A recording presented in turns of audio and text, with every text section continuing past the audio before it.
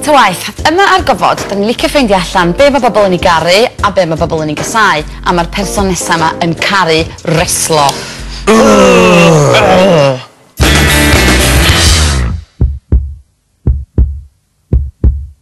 yn ystod y dydd, mae Edward Dennis yn gwarchod plant, ond ar y penwsnos, mae yna anifail drewllyd, perig a brwnt. Dewch i gyfarfod o.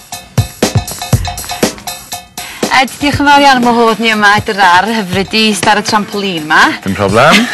gai, gai ddechrau drwy ofyn, be di'r Christy yma ti'n wisgo heddiw? Uh, just Christy gwaith fi, so fi newid gorffen gweithio lawr yn Mumbles, sef uh, ni'n redeg holiday club mas na, so ni'n edrych ar ôl plant pryd mae rhieni nhw'n gweithio. Na ti, so dyna beth ti'n neud yn ystod y dydd, be wyt ti'n neud yn ystod amser hamfen? Um, Wel, dwi'n reslo.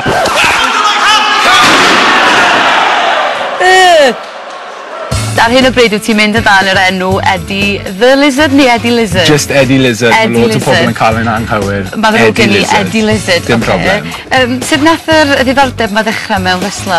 Ah, oh, wel, dwi wedi bod yn um, gwylio fe, twa, ers o'n i'n bychan pryd oedd, e, twa, Hulk Hogan a popeth ar y tyreidiad, pawb yn gwylio fe.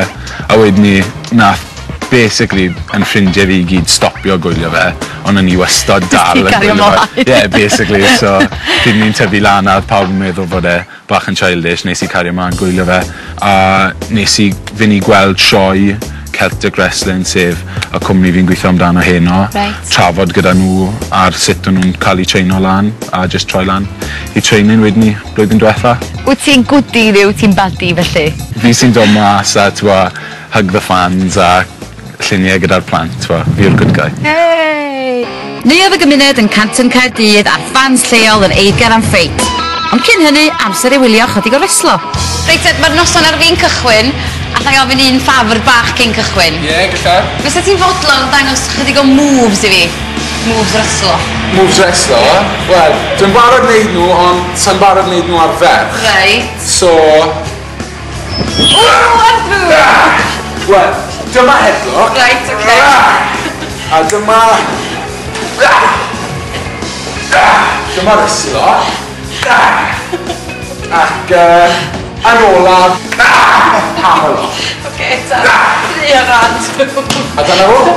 Dwi'n falch bod chdi yn dangos hynna arno fi. Pob lwc i ti. Pob lwc i ti eno. Diolch yn fawr.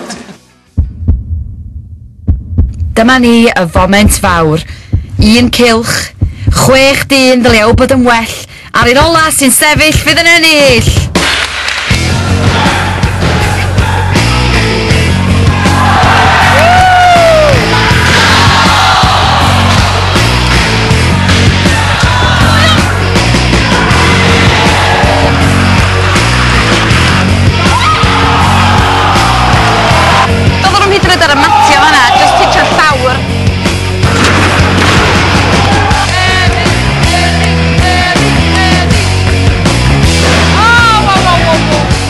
am ots pwy ydych chi, mae yna rei llefydd dylwch chi'n byth roed eich pen.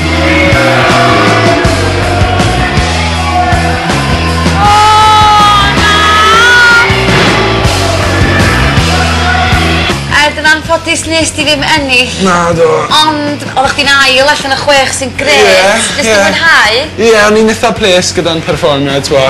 Bydde fe'n neis os o'n i di ennill, ond chi ffili ennill nhw gyd, so... Na, ond nes i fwynhau. Wel, dyna'r beth bwysica, rili, really, fi bod uh, y cynulleidfa yn bwynhau, ti'n bod pawb mynd nôl prynu Eddie Lizard shirts, ti'n bo. Dyna nes i bwysig i fi, ti'n bo, bod pawb yn mwynhau.